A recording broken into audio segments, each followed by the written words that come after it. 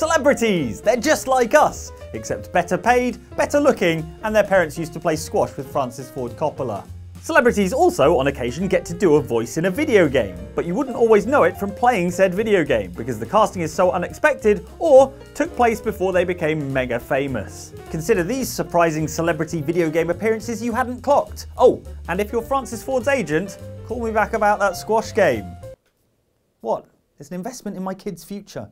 Beware spoilers for these two games and also one Spider-Man movie. Uh, excuse me. Do you speak English? I like to think so. Not enough to get by anyways. You? yeah, I. Wait, what do you mean? When Hong Kong set action adventure Sleeping Dogs launched in 2012, the makers of the game could never have guessed that in just four years, one of their actors would be winning an Oscar. And believe it or not, it wouldn't be for her performance as their game's blogging love interest, Amanda Cartwright.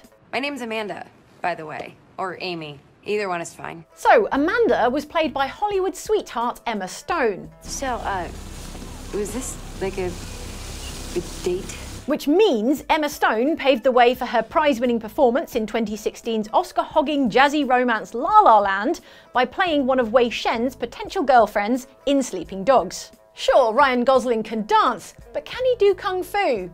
He probably can, can't he? He's the total package.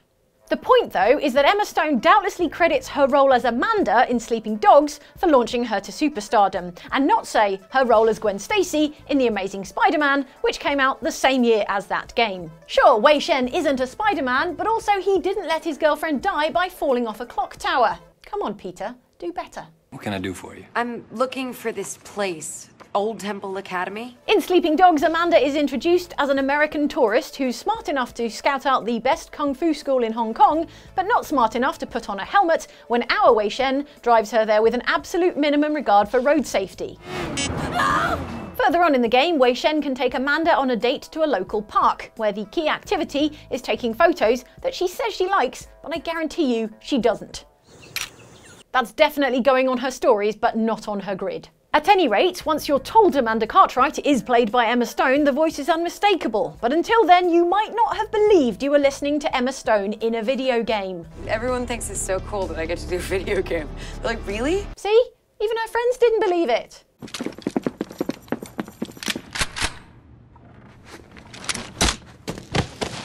How about you drop the gun, honey?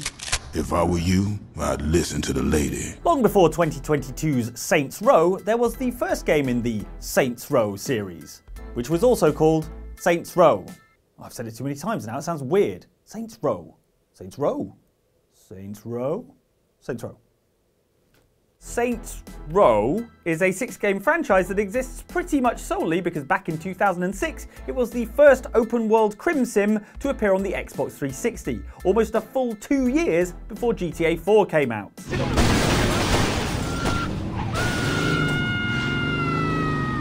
Back in 2006 though, the Saints Row series was an entirely unknown quantity, which makes it all the more surprising to discover that it was the video game voice acting debut of now huge Hollywood star Mila Kunis.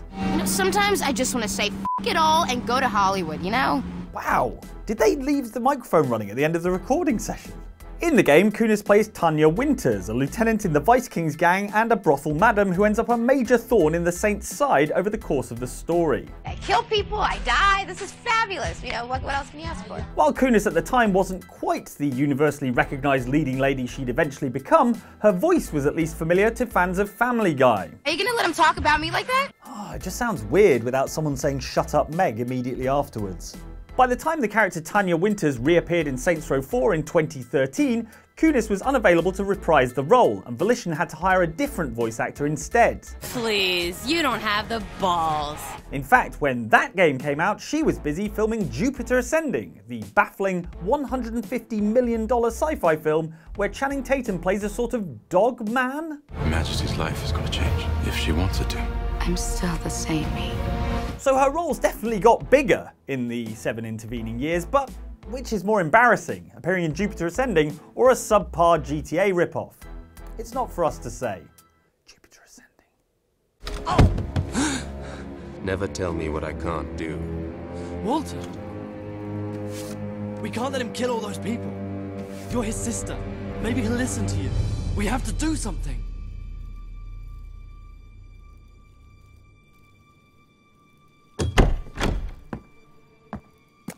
What are you doing here? The war room is no place for a child. Leave now. I'm here to stop you. You can't kill those people. The Fable series is well known for giving prestigious actors a pop at video game voice acting, with the eminent likes of Zoe Wanamaker and Stephen Fry stepping into the recording booth for Lionhead's fantasy franchise. Also, Sir Ben Kingsley. I am Sabine, Elder of the Dweller tribe. This is my first experience uh, voicing a video game. Sir Ben Kingsley there, who played Sabine, the King of the Dwellers. All right, I'll shout Sabine's History of the Dweller tribe. And I apologise to any Welsh players of the game for my Welsh accent, but I did have a go. He certainly did. But although there's no mistaking a character played by Stephen Fry, or failing to recognise the distinctive voice of Zoe Wanamaker as Teresa the Seer, Sabine is a good man, and his people are strong. That's the one. Much less obviously recognisable was the Oscar nominated actor behind the voice of Fable 3's Tyrant King, Logan. You are no longer a child, and it is time I stopped treating you as one. If you had told us that none other than Michael Fassbender took time out of his illustrious screen acting career to play your dickhead older brother in Fable 3, we would have roundly mocked you for your wrong fact, before checking IMDb and finding out you were 100% correct. It's my first time playing a video game character, and uh, it's really interesting because it's another sort of form of storytelling. Yes, it was Irish actor Michael Fassbender who so compellingly voiced Logan, bringing to life a character who, much like Fassbender's Magneto or Macbeth, is a nuanced kind of villain, and who eventually turns out to be somewhat sympathetic in his villainy. This is my Albion. Its people will do as I say, or they will die. I said somewhat sympathetic, and eventually. With Fassbender disappearing into the role of King Logan and pulling off an accent more convincing than Sir Ben's, players may well not have clocked the star of Steve Jobs doing a voice in Fable 3. The sacrifices I had to make, I did them to protect Albion. Or possibly they were just distracted by how mad they were at Logan for forcing them to sacrifice their adorable boyfriend Nicholas Hoult to save a crowd of innocent citizens. I will never forgive you for this. Good. Then you will never forget it. Still haven't forgiven you, Michael. Could very well destroy the Kingdom of Albion. Just like that poster. There you go, baby. Come to daddy. Woohoo! Here, let me see that.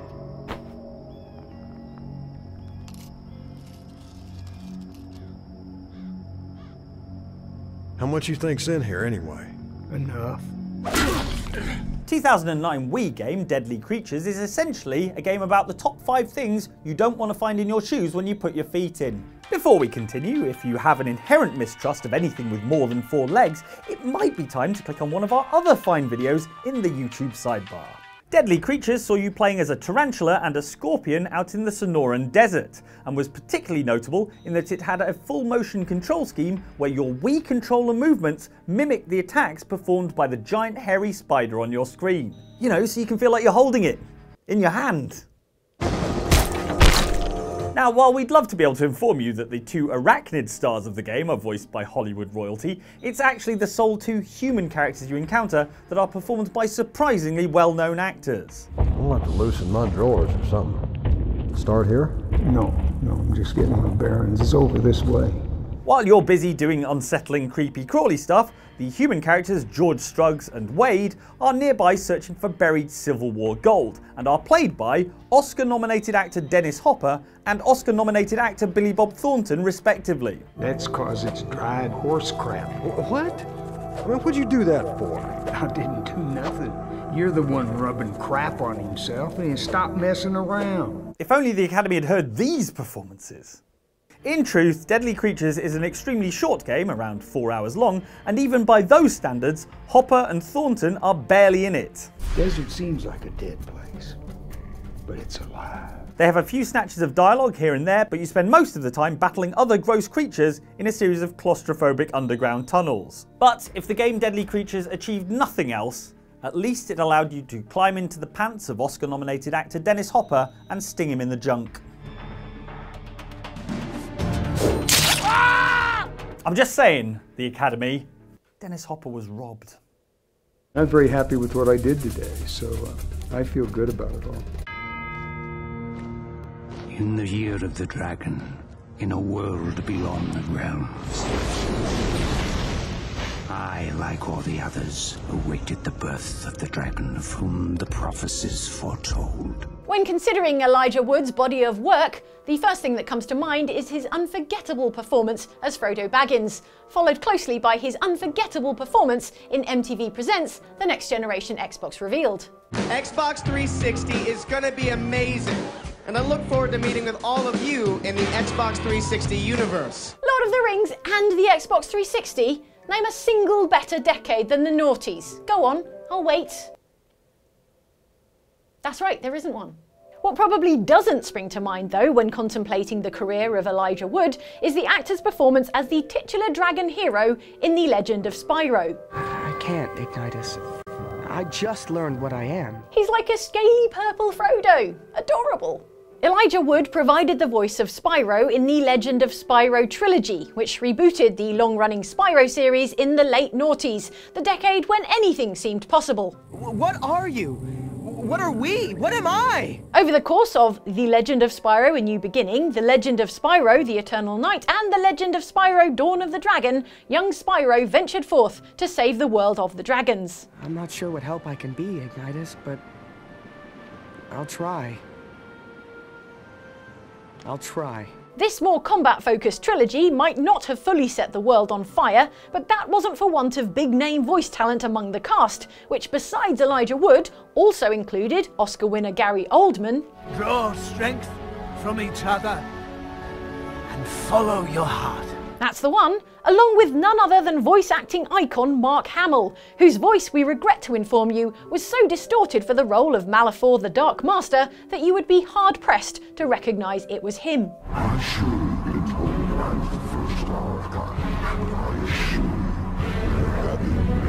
Why would you do that to Mark Hamill? Regardless, the much more easily recognised voice of Elijah Wood was a perfect match for another fantasy trilogy in which a small hero goes on a perilous quest to stop the forces of evil. Only this one can breathe fire.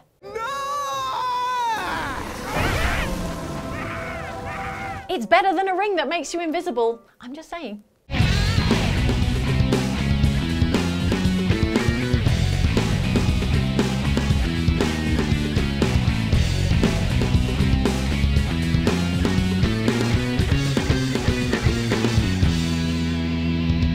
The late 90s and early 2000s, there was a video game for every single extreme sport.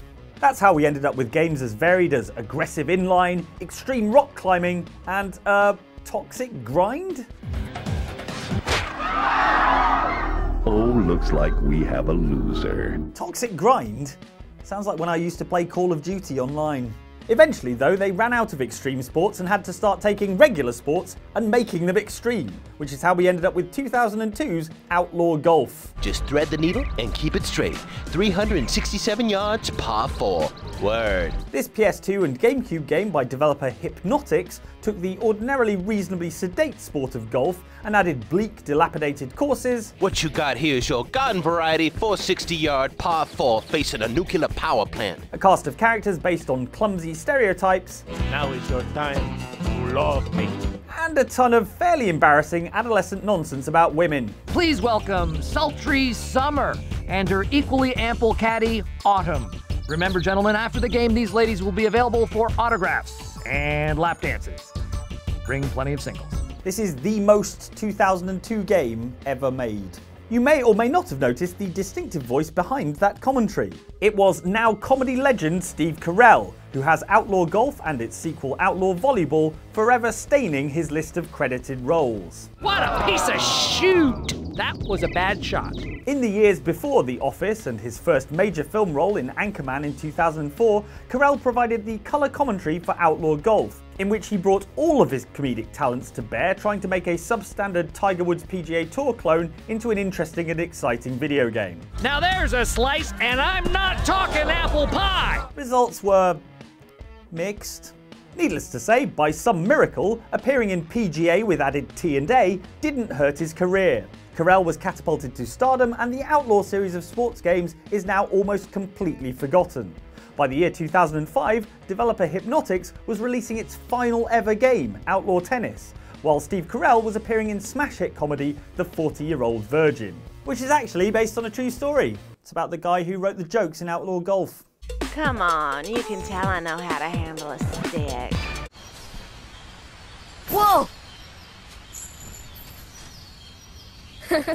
Give me a break, Kairi. Sorry, you lazy bum. Role-playing franchise Kingdom Hearts is a rich melting pot that blends both its own fantastical mythos with Disney intellectual property in a way that makes you go, are we sure Disney knows about this? Well, are we? Only in Kingdom Hearts can you find yourself watching a scene where Mickey Mouse's pet dog Pluto is menaced on a tropical beach by a quartet of zipper-mouthed weirdos known as Nobodies before this nobody with better hair named Axel sends Pluto and his human friend fleeing through a portal of darkness. I feel like we're friends already.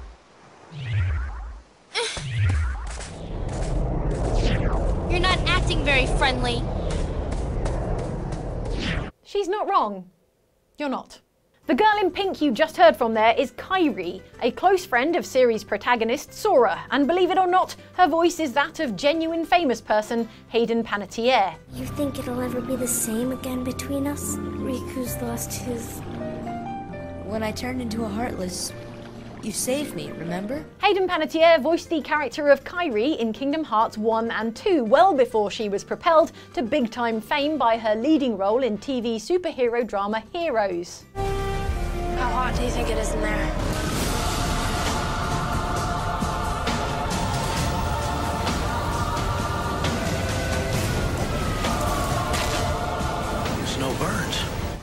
Kairi was later recast, while Panettiere's character took her in other directions on film and television and not video games, except many years later in Until Dawn, in which there was no mistaking who played the part of Sam on account of Panettiere providing both her voice and likeness. Well, actually, the towel didn't turn out to be the best outfit for fighting off killer maniacs, you know.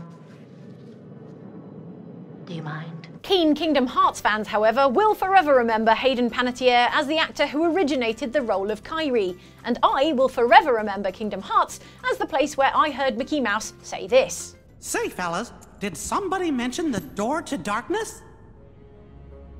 And that's with Disney's permission. Imagine what they're going to do when Mickey Mouse enters the public domain next year. They'll pay for this. Thank you so much for watching this video. Uh, if you'd like to see more from us, we have a video up here which is about sort of technical peeks behind the curtain in video games. Very interesting. And down here we have a hard-hitting investigation by Outside Extra about live service games that were almost immediately killed. Now, if you'll excuse me, I'm just on the phone. Hello, yeah, yeah. What, what about Thursday? I'll get, he must be free Thursday night. What's, what's he doing? Making Apocalypse Now too? I think not.